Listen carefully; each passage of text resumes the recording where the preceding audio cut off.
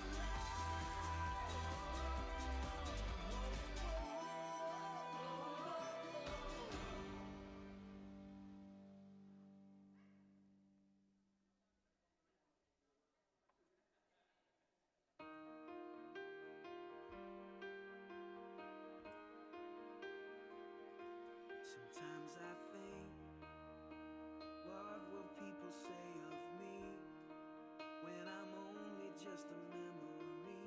When I'm home where my soul belongs.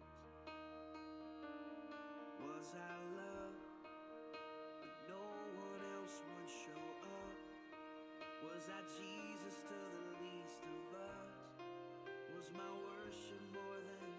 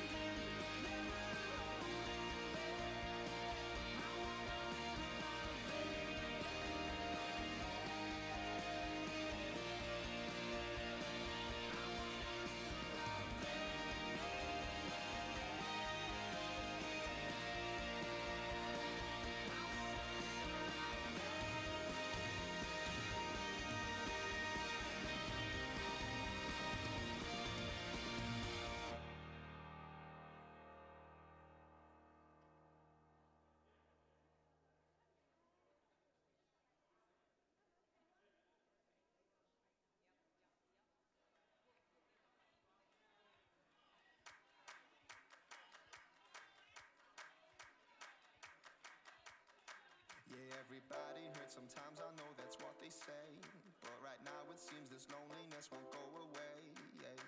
Can anybody feel this heartache? Is anyone around? Feels like we're running round in circles, we can't catch your breath. We can't enjoy the moment when we always want what's next, yeah. Just when I can't take no more It's when I hear you say Don't hang your head when you get lonely.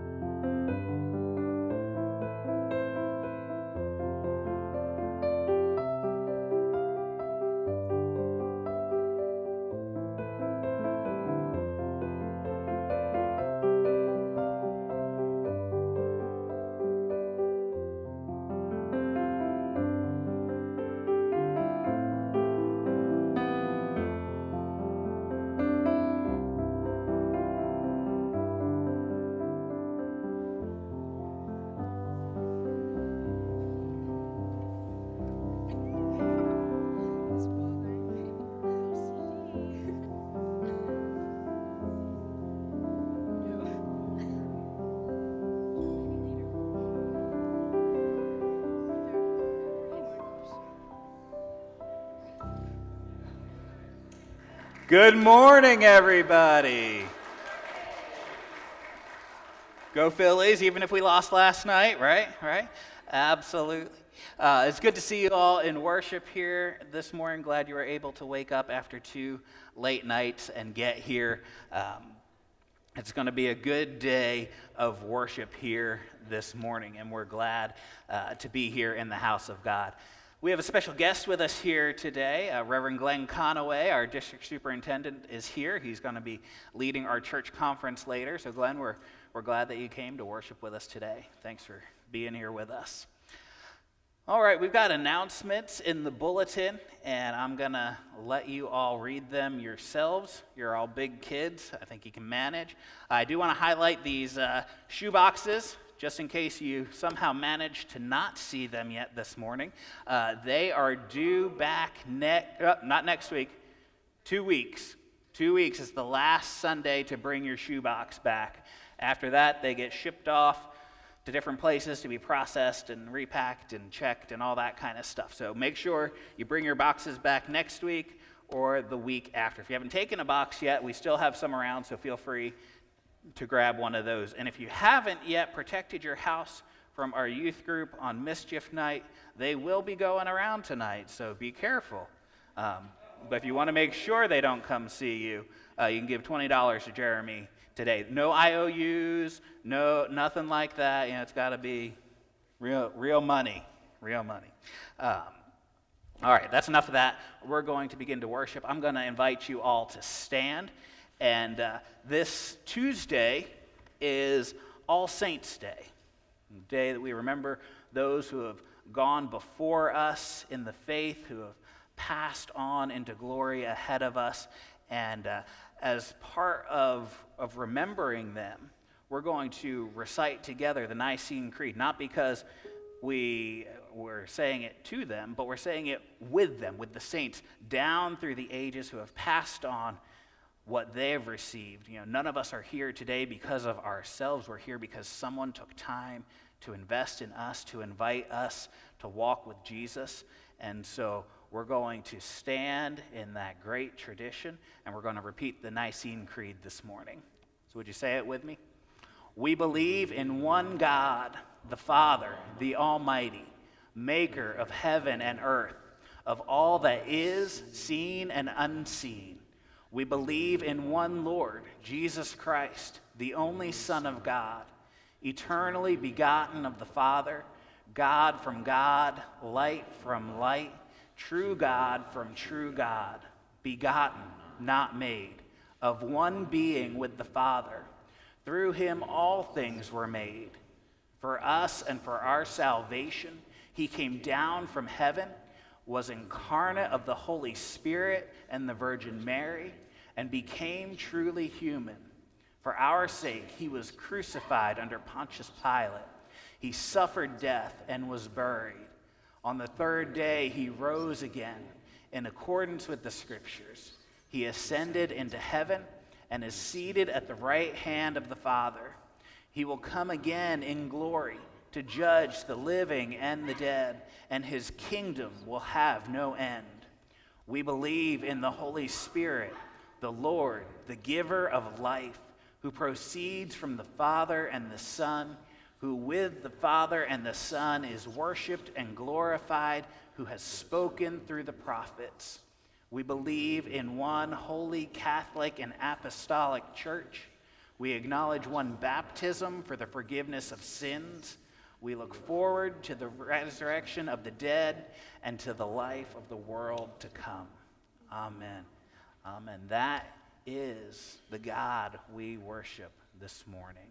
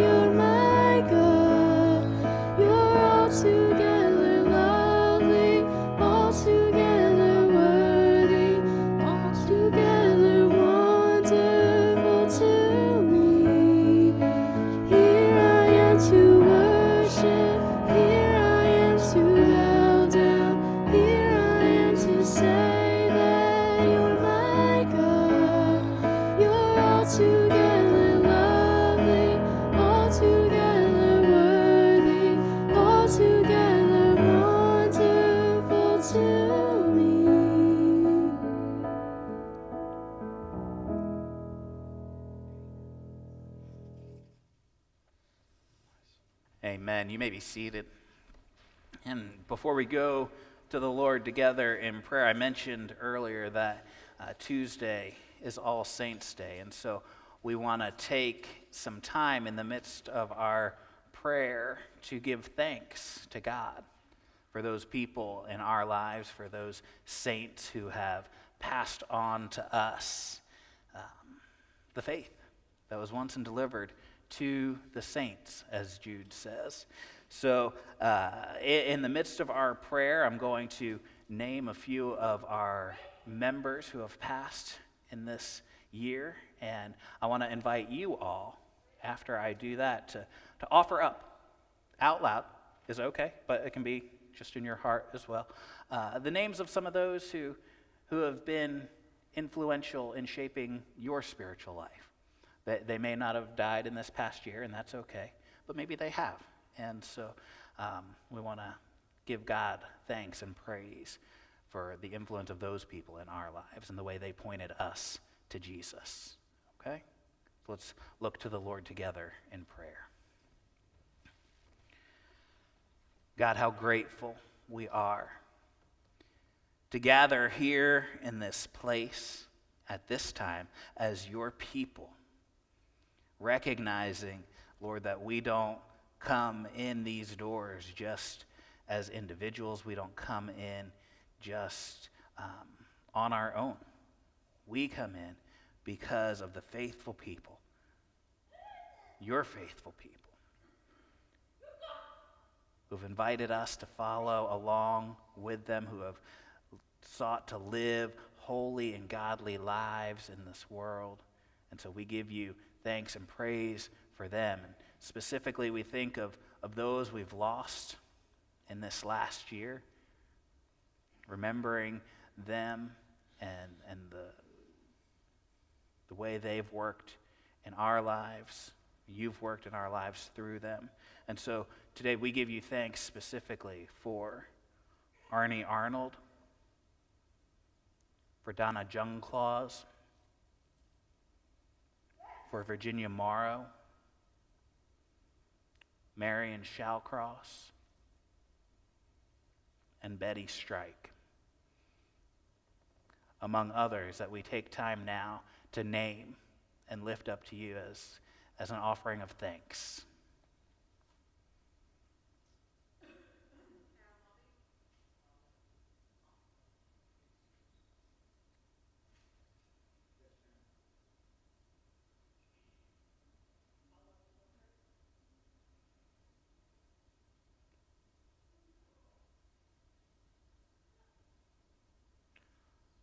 For all these and others, Lord, we give you thanks, we give you praise, and we pray, God, that their example to us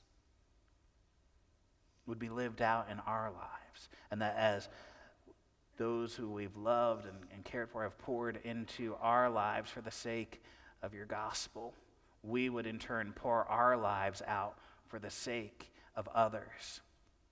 Help us to faithfully follow you, to, to run the race so as to win the prize. Help us, Lord, to remain faithful to all that you've called us to be and to do. And as your people who are gathered here, we take time now to, to stand with all those uh, around the world now, but also down through the ages to pray together the prayer that you taught to your disciples. Our Father, who art in heaven, hallowed be thy name. Thy kingdom come, thy will be done on earth as it is in heaven. Give us this day our daily bread, and forgive us our trespasses, as we forgive those who trespass against us. Lead us not into temptation, but deliver us from evil. For thine is the kingdom, and the power, and the glory forever. Amen.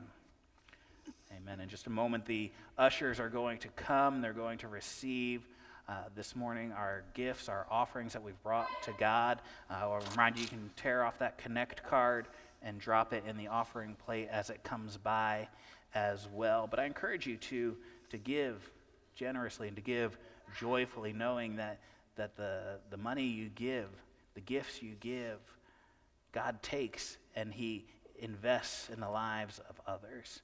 And so I encourage you to give joyfully as part of your worship this morning.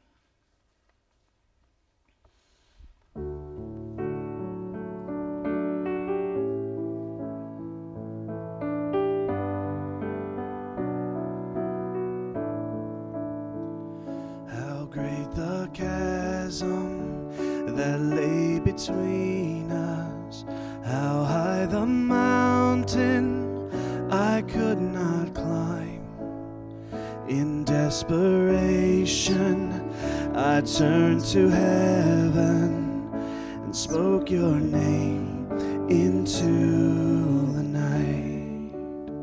Then through the darkness, your loving kindness tore through the shadow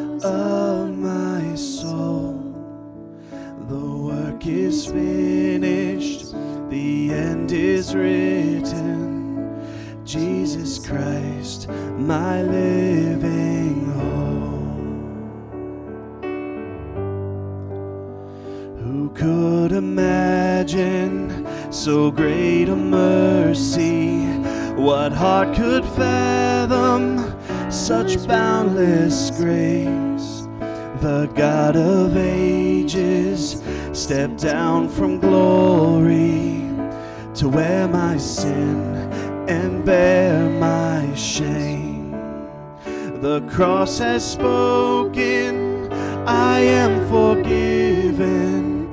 The King of Kings calls me his own. Beautiful Savior, I'm yours forever. Jesus Christ, my living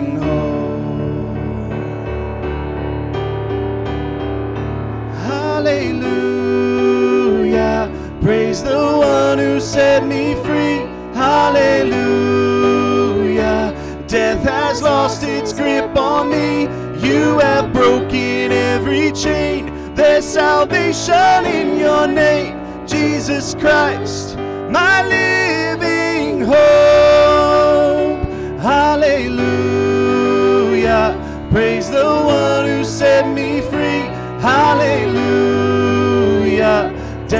has lost its grip on me. You have broken every chain. There's salvation in your name, Jesus Christ, my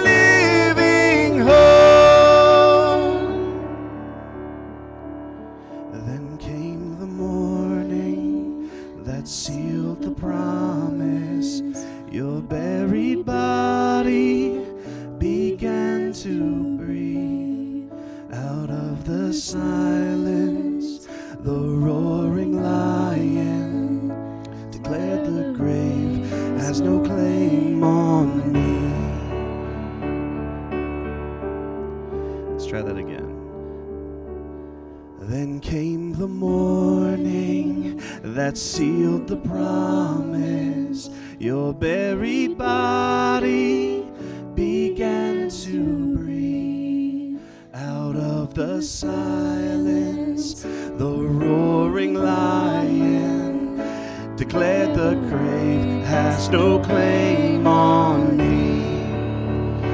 Jesus, yours is the victory.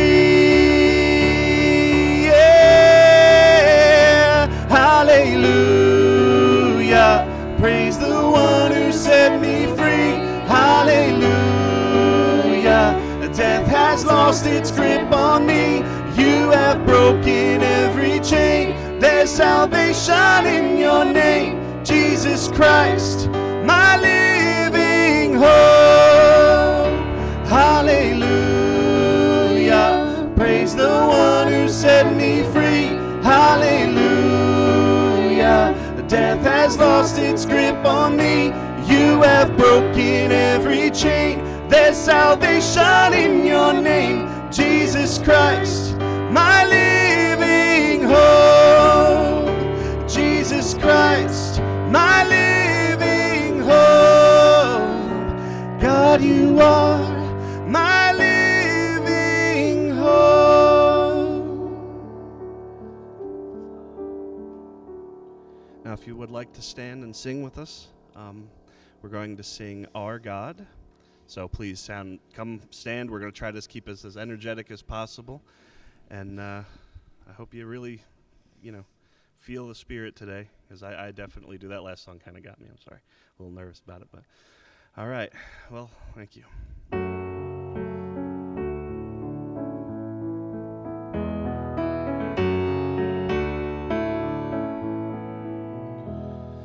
Water you turned into wine.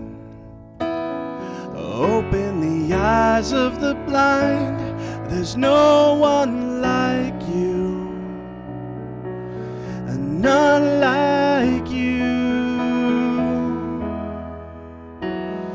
Into the darkness you shine. Out of the ashes we rise. There's no one like you. There's none like our God is greater. Our God is stronger. God, you are higher than any other. Our God is healer. Awesome in power. Our God. Our God.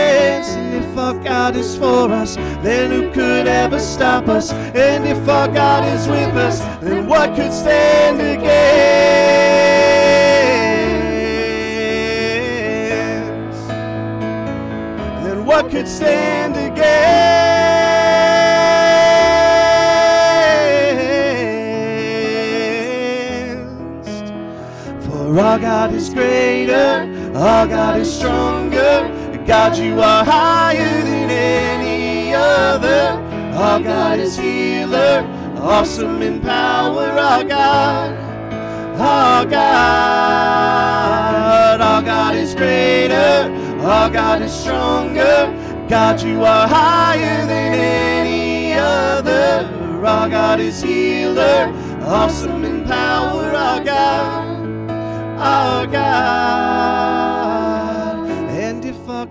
For us, then who could ever stop us? And if our God is with us, then what could stand against? And if our God is for us, then who could ever stop us? And if our God is with us, then what could stand against? And if our God is for us, then who could ever stop us? Then if our God is with us, then what could stand against? If our God is for us, then who could ever stop us? And if our God is with us, then what could stand against?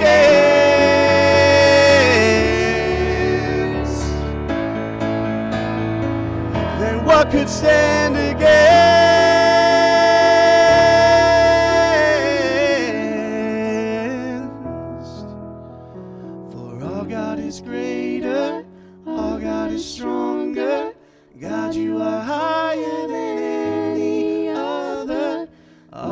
Is healer, awesome in power. Our God, our God.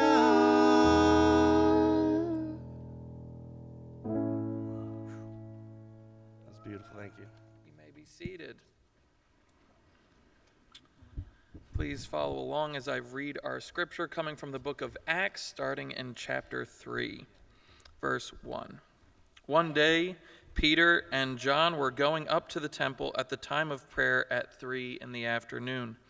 Now, a man crippled from birth was being carried to the temple gate called Beautiful, where he was put every day to beg from those going into the temple courts. When he saw Peter and John about to enter, he asked them for money. Peter looked straight at him, as did John. Then Peter said, Look at us. So the man gave them his attention, expecting to get something from them. Then Peter said, Silver, gold I do not have, but what I have I give you. In the name of Jesus Christ of Nazareth, walk. Taking him by the right hand, he helped him up, and instantly the man's feet and ankles became strong. He jumped to his feet and began to walk. Then he went with them into the temple courts, walking and jumping and praising God. When all the people saw him walking and praising God, they recognized him as the same man who used to sit begging at the temple gate called Beautiful, and they were filled with wonder and amazement at what had happened to him. While the beggar held on to Peter and John, all the people were astonished and came running to them in the place called Solomon's Colonnade. When Peter saw this, he said to them, Men of Israel, why does this surprise you? Why do you stare at us as if by our own power or godliness we had made this man walk? The God of Abraham, Isaac, and Jacob, the God of our fathers, has glorified his servant Jesus. You handed him over to be killed, and you disowned him before Pilate, though he had decided to let him go. You disowned the holy and righteous one and asked that a murderer be released to you. You killed the author of life, but God raised him from the dead. We are witnesses of this. By faith in the name of Jesus, this man who, whom you see and know was made strong. It is Jesus' name and the faith that comes through him that has given this complete healing to him, as you can all see. The word of God for the people of God. Thanks be to God. All right, at this time, I'm going to invite our kids to join Miss Carol and Miss Susan. We're going to head out to Kids Church.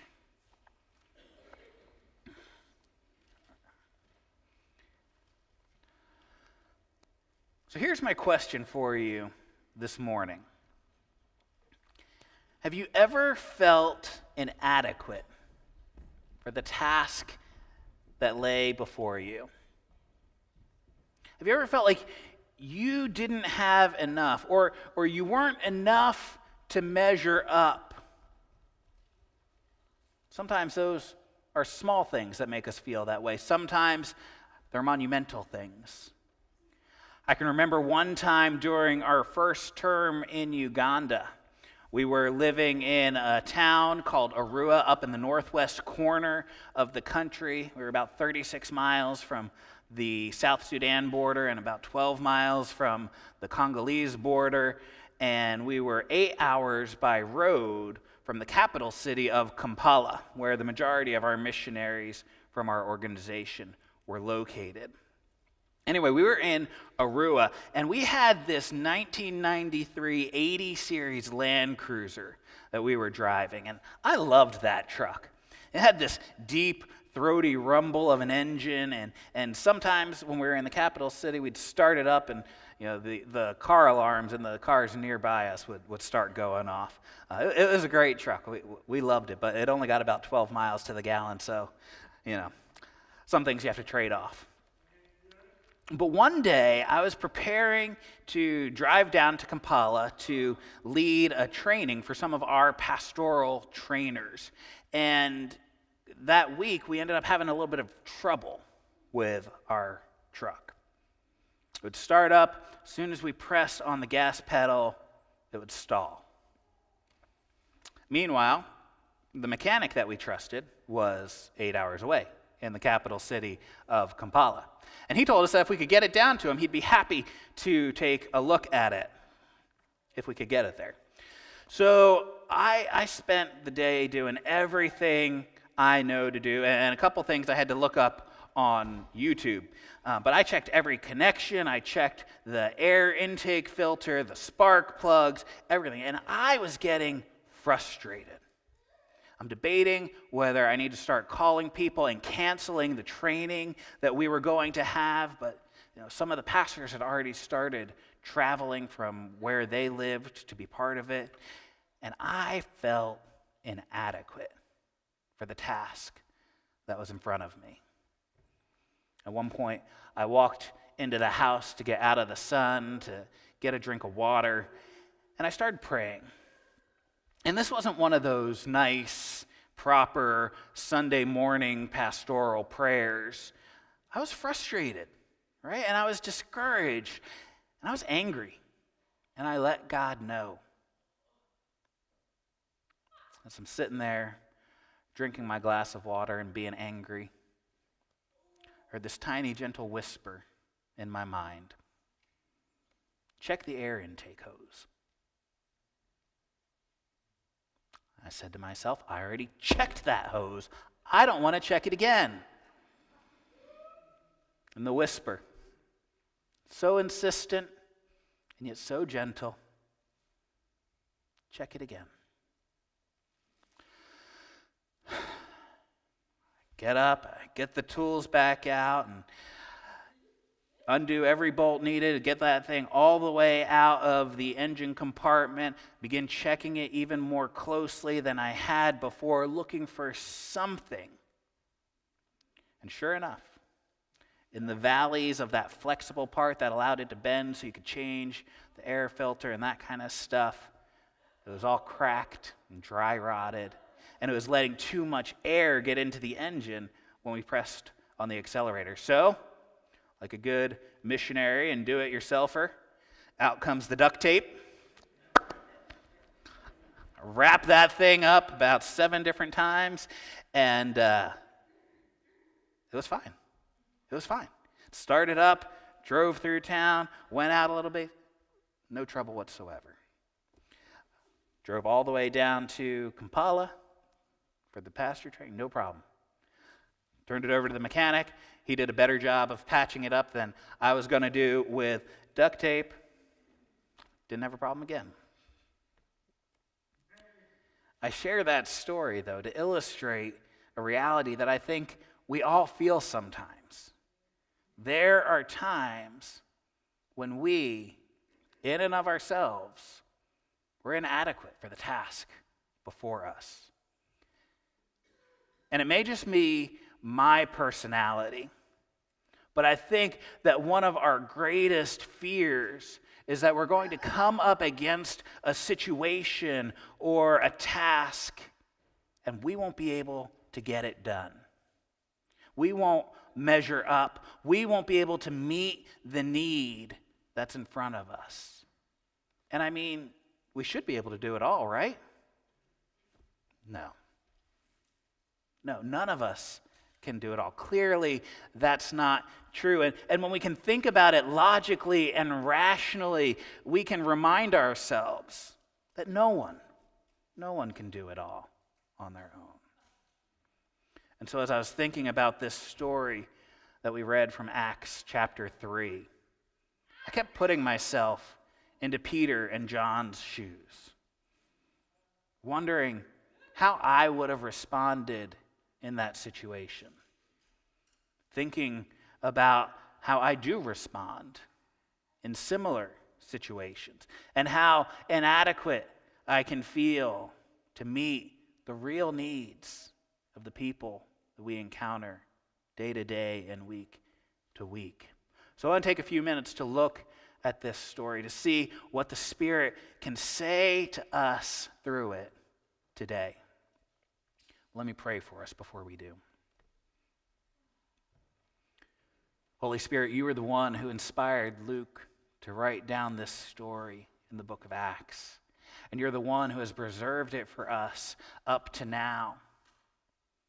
So would you come and cleanse the thoughts of our hearts by your inspiration, that we may perfectly love you and worthily magnify your name. Amen. So, here in Acts 3, Luke is telling the story. He tells us that one day, Peter and John were going up to the temple. This was something that they did on a regular basis. It was part of their habit, part of what they did in their worship, in their following of Jesus. And this specific day, they came across this man who was lame. This man who had been placed there by the gate to the temple by his family or his friends to beg for money, hoping he'd get a little bit of money to help support his family, provide a little bit for the people in his household. And, and so, there that day, that lame man, he asks Peter and John for money, as he had probably asked hundreds of people as they were walking by, heading in to the temple, hoping that just a few of them would respond favorably and give him a little, some, a little something. Apparently, his hopes weren't very high, though, because he wasn't even looking at Peter and John when he asked. He's asking anybody who walked by, Would you give me a little money? And so, the first thing that Peter does when this man asks him for money that he doesn't have as he looks at that man. And I see so much compassion and dignity in that choice. I mean, how many times has this man been passed by by people who wouldn't even take time to look at him?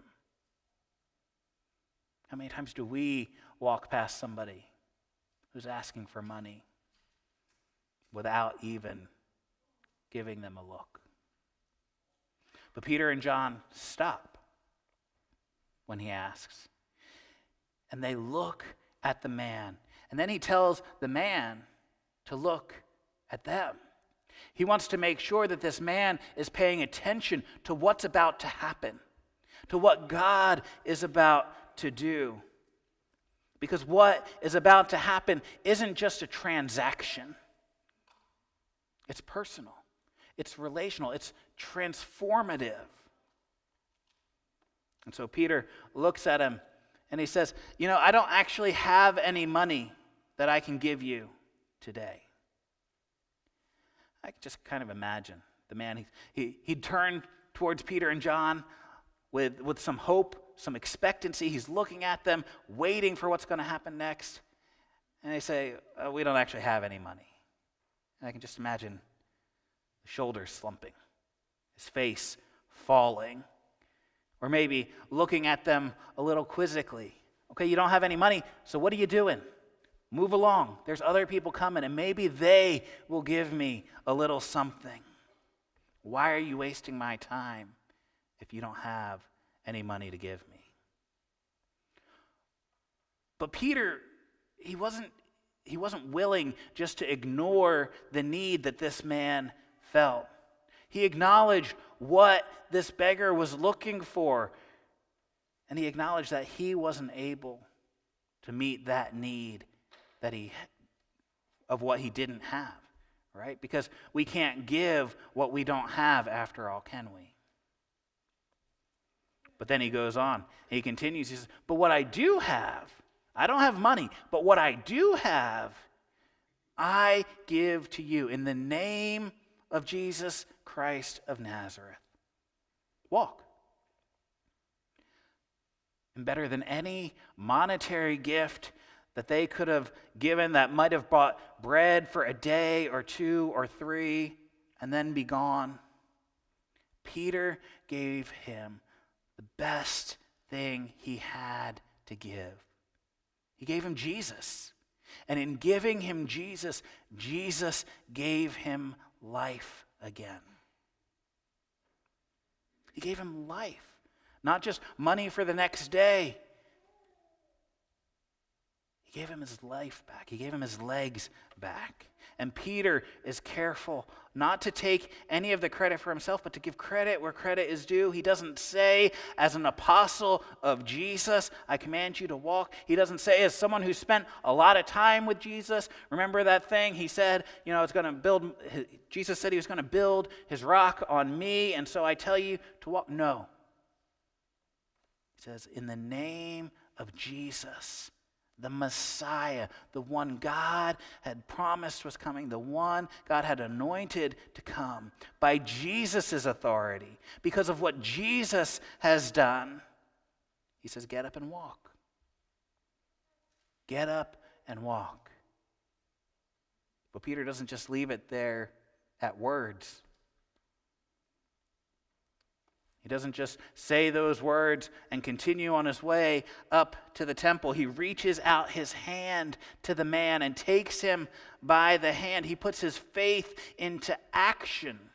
And I wonder if he didn't have in his mind that time that the leper came to Jesus. And he knelt before Jesus and he said, Lord, if you're willing, you can make me clean. And Jesus, knowing all the Jewish rules and policies and procedures and what it would mean if he touched that unclean leper, he reached out his hand and touched the man with leprosy. And he became clean. I wonder if that wasn't in his mind when Peter reached out his hand to the man who was begging, the man who couldn't walk, the man who had to be carried there just to ask people for their pocket change. Peter reaches out his hand, he puts his faith into action, and he helps the man to his feet. And the man, I mean, the story doesn't really tell us, but you, you, you got to imagine, right? This man has been lame for so long. Peter tells him out of nowhere to get up and walk, and he gives him his hand. You got to imagine he was a little shaky at first. But that shaky standing, he doesn't stop with just walking. Apparently, he wasn't a very good leader or a very good listener. He, uh, he starts jumping and leaping and praising God for what he had just seen and experienced. So he's there in the temple, praising God, jumping around. He's beginning to draw a crowd people want to know what's happening. And, and the result, if we've read some of the stories about Jesus in the Gospels, they're fairly predictable, aren't they? The man begins to praise God for what's happened. And when the people see what has happened, they recognize this man as the guy who used to sit there and beg every day when they were going in and out of the temple. So they start asking questions. And Peter and John, they begin to point to Jesus. They point to God. And in, in verses 12 to 16 that Jeremy read for us, he said, When Peter saw this, the commotion that was coming, the, the questions that were coming, he said to them, Fellow Israelites, why does this surprise you? Why do you stare at us as if it's by our own power or godliness that we have made this man walk? The God of Abraham, Isaac, and Jacob, the God of our fathers, has glorified his servant Jesus. You handed him over to be killed, and you disowned him before Pilate, though he had decided to let him go. You disowned the holy and righteous one and asked that a murderer be released to you.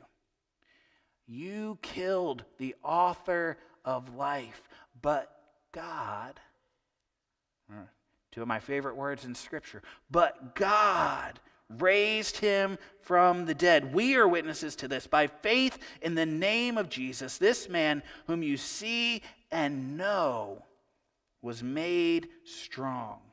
It is Jesus' name and faith that comes through him that has completely healed him. As you can all see, this wasn't just a parlor trick. This wasn't just a fast when they were trying to pull on the people. And the people, seeing what God had done, begin to praise God for this wonderful thing that they had seen and experienced. Then the leaders come along. And they hear what has happened. And they start asking questions about what is going on. And I think those leaders felt threatened. And so, in, in that fear and in that feeling threatened, they tried to contain and control what is happening. They have Peter and John arrested and put in jail for the night. And they tell Peter and John, that's enough about this Jesus. We don't want to keep hearing about this Jesus. You've got to stop. You've got to stop telling people about Jesus. And so, Peter, in the very next chapters, he's being questioned by the religious leaders. Chapter 4, beginning in verse 8, it says, Then Peter, filled with the Holy Spirit, Remember, we talked last week about the day of Pentecost when all of the gathered believers had been filled with the Spirit. But that's not just a one time kind of event, is it? Whenever there's a need of what God wants to do that we are inadequate for, God gives His Spirit. And so Peter, filled with the Spirit, said to them, Rulers and elders of the people, if we're being called to account today for an act of kindness shown to a man who was lame and are being asked how he was healed, in other words, are you really calling us to task because we were kind to this man?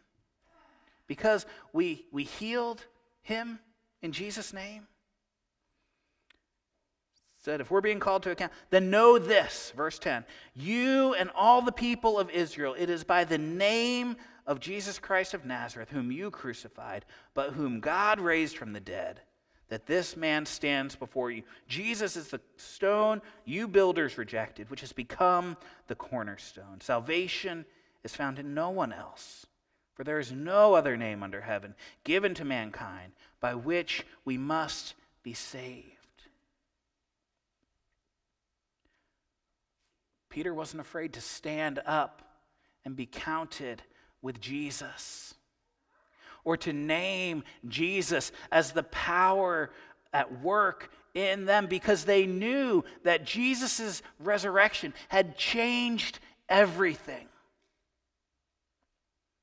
In his book, The Spirit Filled Life, Tim Tennent, the president of Asbury Seminary, says that one of the roles of the Spirit is to take the work that Jesus was doing and to universalize it among the followers of Jesus. He says, we rightfully celebrate the incarnation, Jesus Christ stepping into human flesh.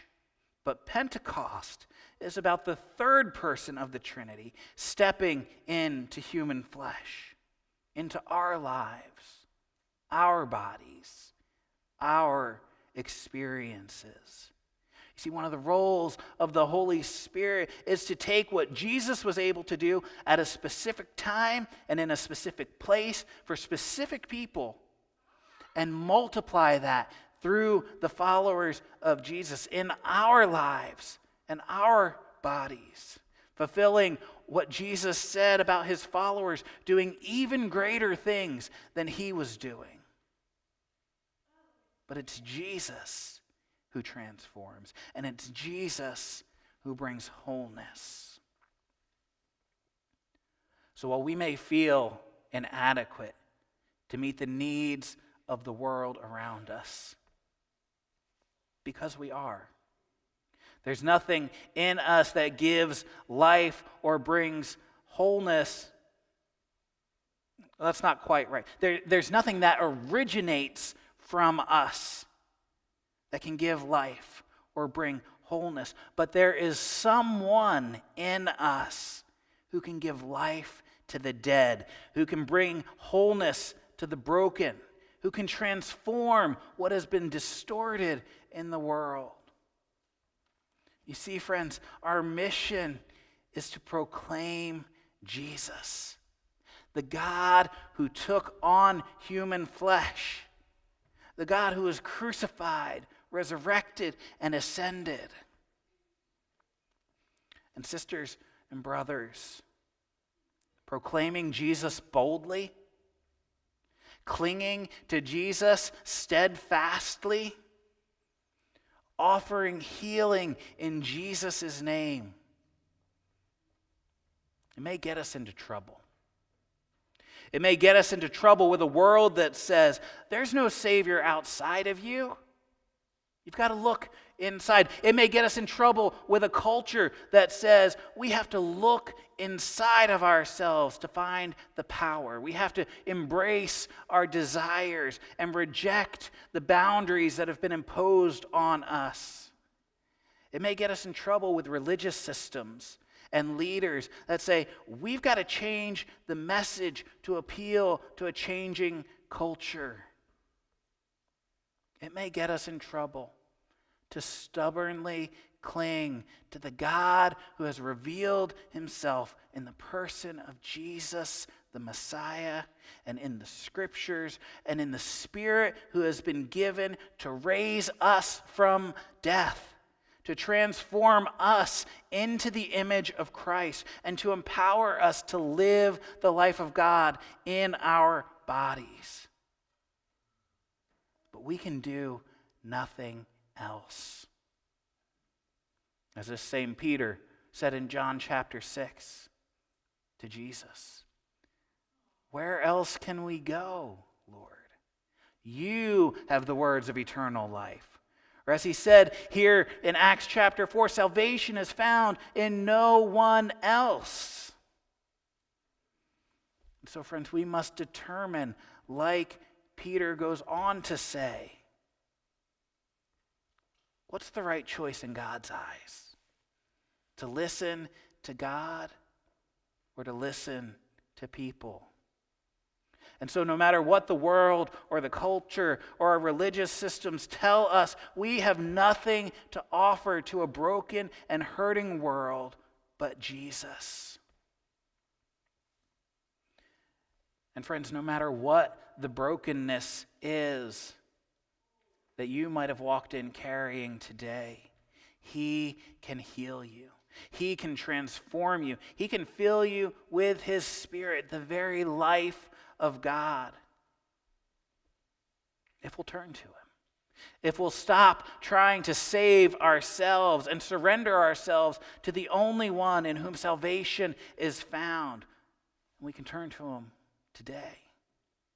And if you've already experienced the saving, redeeming love of Jesus, but you find that there's a deeper healing that's needed in your life as you've walked with Him. He's shown you there's still some things that need to be transformed, some part of you that needs the transformation that He offers. You can give that to Jesus. You can ask the Holy Spirit to apply the healing work of Jesus to your lives in a deeper way. God still has power to make us whole and holy today. And maybe today you've been healed and you've been transformed, and you need the Holy Spirit to give you the kind of holy boldness that Peter and John had. The kind of boldness that's willing to offer Jesus to a broken world. The holy boldness that says, it may cost me something, it may cost me everything, but I must obey God. The Spirit wants to come. And He wants to fill you again, to empower you to speak the Word of God boldly, to carry His presence and power to bring wholeness to a world that is broken and divided and hurting. So, as we close the service today, I'll invite the, the worship team to come on up. So we close the service today. I want to invite you to pray. And I want to invite you to talk to God about what He wants to do in you to help you take that next step closer to Him. Maybe you've never stopped trying to fix yourself and surrendered your life to Jesus. Maybe you've been following Jesus, but the Spirit is showing you part of your life that still needs healing. Maybe the Spirit is ready to use you as a vessel to pour out His grace and His love for others. But you need that holy boldness that doesn't come from anything within ourselves.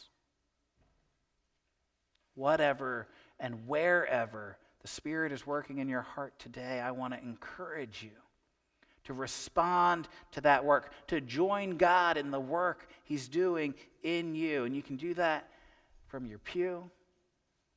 Come down and pray at the altar. It's always open to meet with God. But, friends, don't walk past the opportunity that the Spirit is inviting you into today. I invite you to stand and we're going to pray.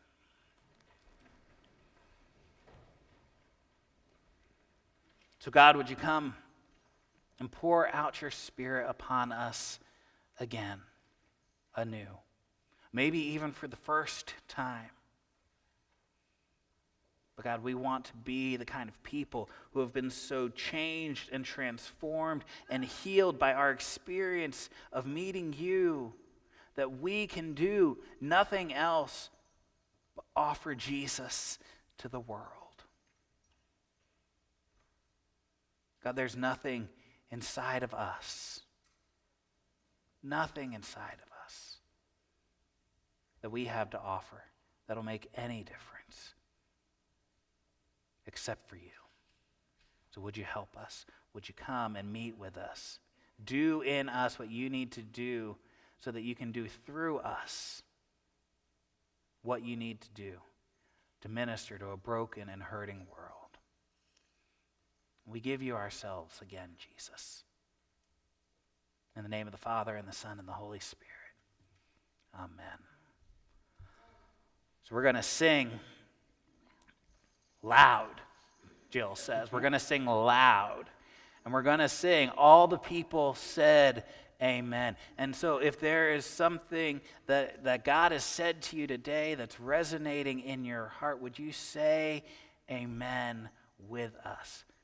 Amen means let it be, so be it. And so, at the end of our service, as we close out this time, would you join your hearts and your voices together with us and say Amen to the work that God is doing? You stole my line. That's exactly what I was going to talk about. When I was thinking about this, I was thinking, you know, what is the, the meaning of amen? And then I started, um, I started thinking about uh, in this one line it says, "Give thanks to the Lord for His love never ends." And I definitely said, when all the people say amen, we're saying it's a certainty. We're, you know, so be it. So I would love everybody to sing as loud as possible, and we'll voices to God this morning, okay? Hand clapping is not Oh, frowned yeah. upon either. Def- not at all. So. You are not alone. If you are lonely and you feel afraid, you're not the only. We are all the same, in need of mercy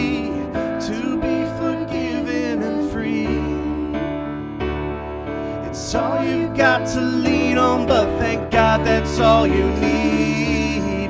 And all the people said, Amen. Whoa,